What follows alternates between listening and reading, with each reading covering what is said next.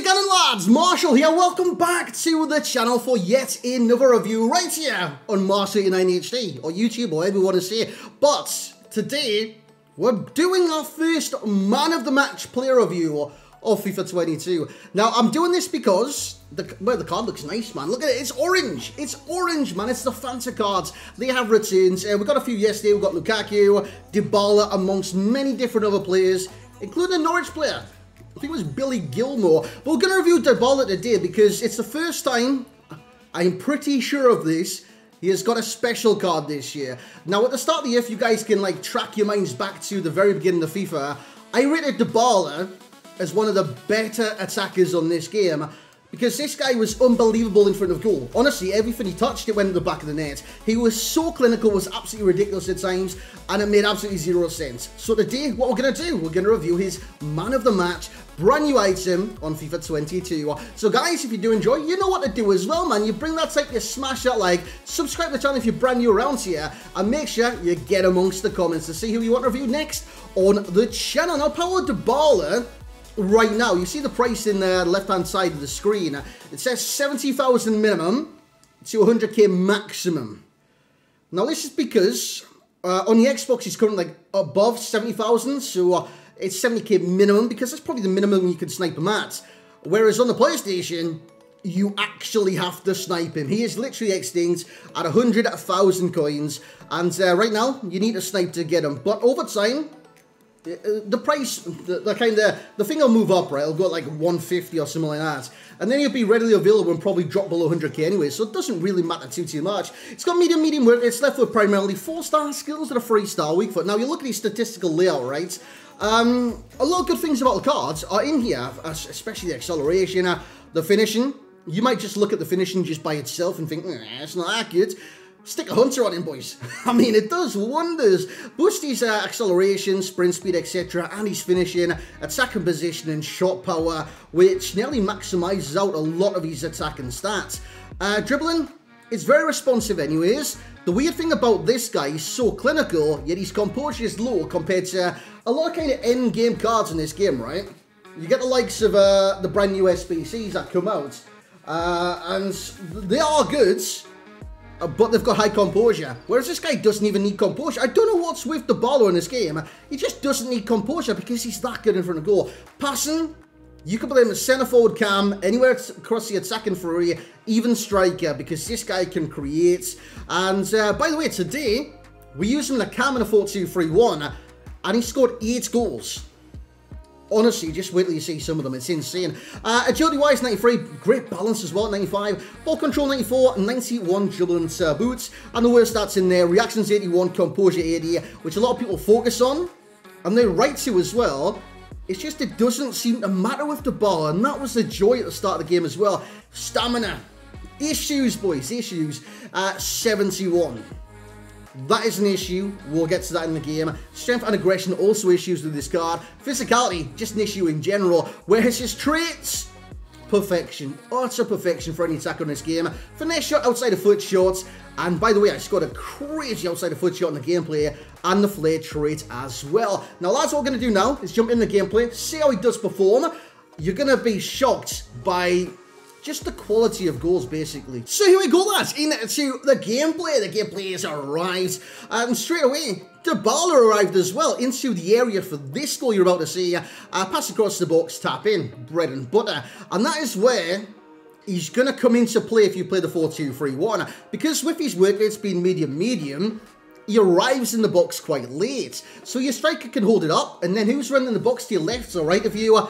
Paulo Dybala because he's making that last minute burst to get into the box, and with the finishing that he's got, uh, the shot power, etc., etc., he's going to score it anyways, man. So he's very good when he does come down to that, making late runs in the box. You want to play make it from deep? Do exactly what I just did there. Nice little chip up, a flick over the top, and Martinez heads it over the top to keep it into the back of the net.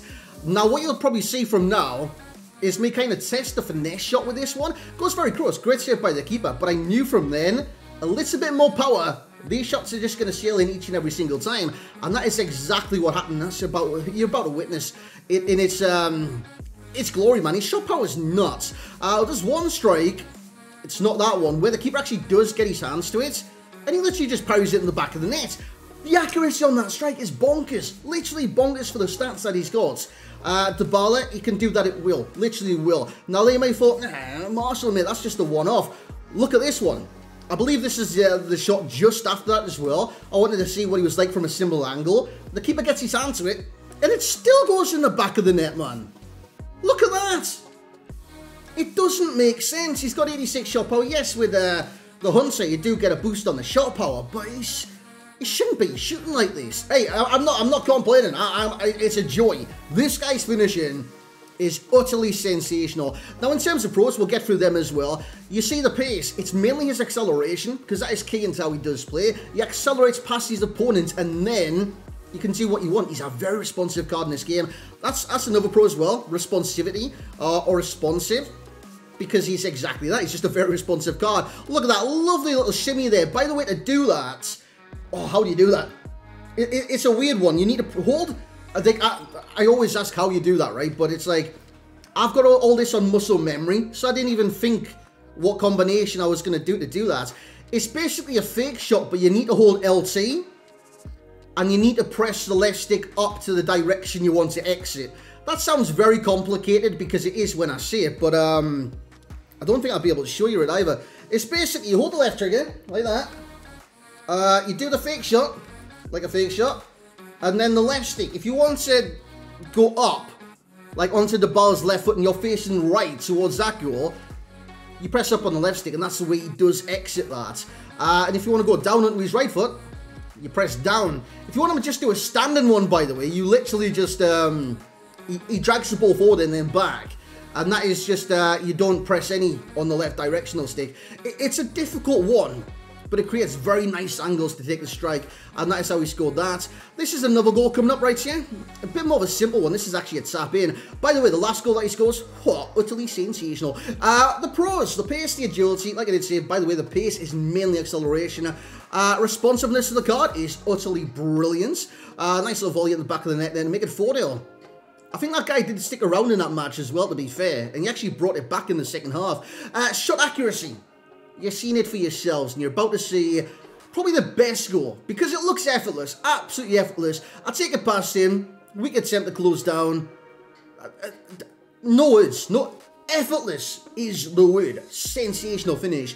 Uh, passing is there, four star skills there. Of course, he's got his weaknesses the three star weak foot, the strength, the stamina, but lads, let's talk about that a little bit more in the summary. So there we have it then lads, that was Paulo Dybala. By the way, like what you see in the background now is just like, it's actually screenshots because I've sold them since.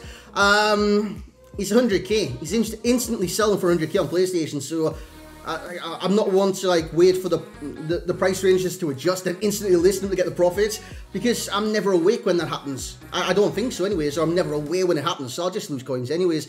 Uh, so bought them for 100k, sold them for 100k, is what it is. So you've got screenshots to entertain you guys right now. That's pretty much what I do anyways. Um, Paulo Dybala. Sensational. Sensational. Is it going to be the best version of Paulo Dybala in this game? No, it, it generally won't. Dybala each and every single year seems to get that that one card that is brilliant. Uh, which which one where... There was one year we had like a moment or a flashback or something like that and he was insane. And I don't know which year it was. I don't think it was last year. I think it was generally the year before. What, FIFA 20? Maybe FIFA 20. He had an insane card where we got him kind of early in the game or mid-game. He was unplayable at times, literally unplayable. This card is very good. Definitely an upgrade on the original Dybala in this game. But again, he's got a lot of the same issues, lads. A lot of the same issues. You look at the strength and aggression, they're not good. So if you expect him to be strong, uh, think again, literally think again. Stamina is exceptionally low, and this comes back to what I was saying on Gareth Bale as well, right? Because for medium mediums, they're still depleting stamina very, very quick. Especially attackers, because you want them on the ball. You want to dribble, which depletes stamina quicker than uh, not dribbling with the cards. You want to run with the cards, which again, does exactly what I've just said. And uh, obviously, uh, that's going to happen with the attackers. So the stamina will deplete, and that's the extra time. You're going to miss out on an, like uh, an impact player in extra time Unless you bring him off the bench, he could do a great job. But the thing is, when this guy's on it, and he's got the stamina and stuff like that, early game, he's untouchable. Literally untouchable. Sensational cards. And uh, like I did say as well, composure 80, reactions 81, finishing 87. I, I don't understand. He plays beyond that. It's like the composure does not even matter. The reactions does not even matter when it comes to power with the ball, and I can't wrap my head around why. And the shot power being 86, psh, that is a lie, mate. utter, utter lie. You've seen some of the goals I was scoring. Was literally one of the shots, the keeper got two hands to it, and it still ended up in the net. It's, it's just incredible what Dybala can do on this game, and I beg, and I plead, yeah, if you're watching this, Release a special Dybala. Make him like 97. Uh, just give us the Dybalas, man. I want the Dybalas. Very good player in this game. And I can't wait till he gets a good card that actually sorts out the stamina. Strength not so much because he's going to be evasive anyways. But especially the stamina. Be nice to have a full star weak foot as well if you're watching it here. But yeah, that dude, what a card.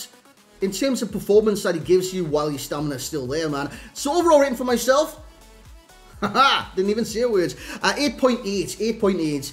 Uh, I think at this stage in the game, there's many strikers that are better than Paulo Dybala, especially because of the stamina. But what he gives you in game, he gives you uh, the oomph. I don't even know if that makes sense. Uh, he does give you like the oomph.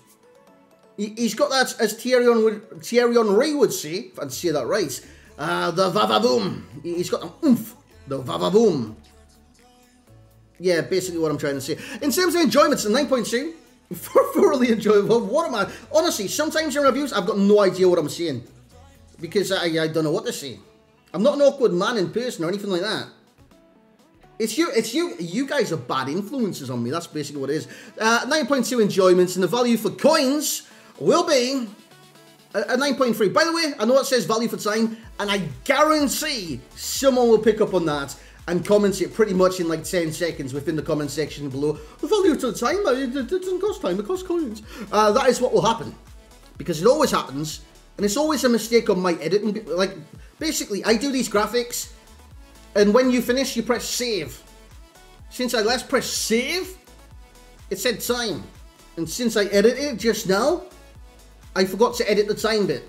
Relax, relax. But it's uh, 8.8 overall rating. Uh, enjoyment 9.2. Value for coins, not time, 9.3. Guys, that's going to be it for this review of Paulo Dybala. I beg he gets a better card in this game.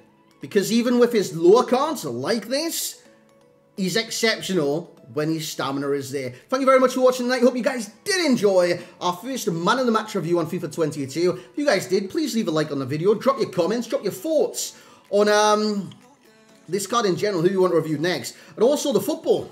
We had football today. We had football yesterday. How did your team do this weekend? Let me know in the comments. Hope you had a great day. We'll catch you in the next one.